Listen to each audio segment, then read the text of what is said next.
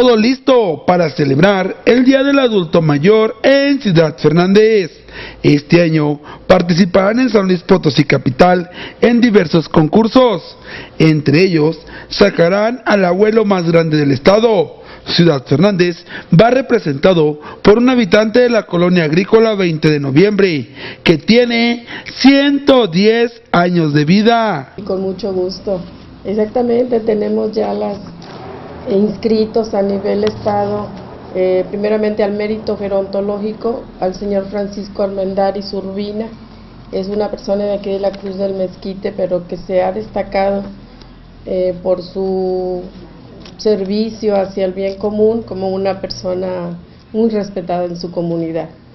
A él se inscribió en mérito gerontológico y volvimos nuevamente a inscribir con mucho gusto al señor de la comunidad de la colonia 20 de, noviembre, Agapito Villela, que cuenta con 110 años para el premio Homo Longevos. el señor Agapito es una persona bellísima que todavía camina, va a darle de comer a sus animales, eh, tiene su pelo completamente negro, ojalá tuvieran oportunidad de conocerlo. Sí, exactamente, tenemos varias actividades durante el mes.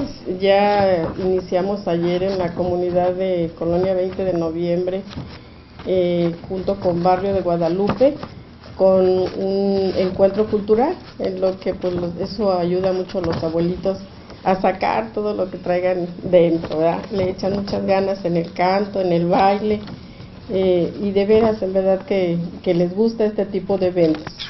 Tenemos también el lunes promoción de la credencial en la Plaza de Fernández. Todo el día a partir de las 8 de la mañana a las 3 de la tarde vamos a estar recibiendo documentos de su credencial y vamos a estar mm, posteriormente entregándola en el mismo lugar. Mientras va a haber cortes de pelo para si algún abuelito quiere hacer este servicio.